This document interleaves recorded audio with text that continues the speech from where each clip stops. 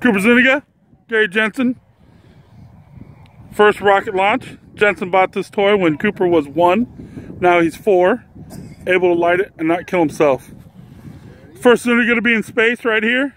Three, two, one.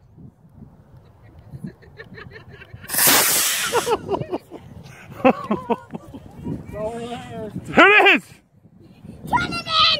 Turn it in! Turn it in! Turn it in!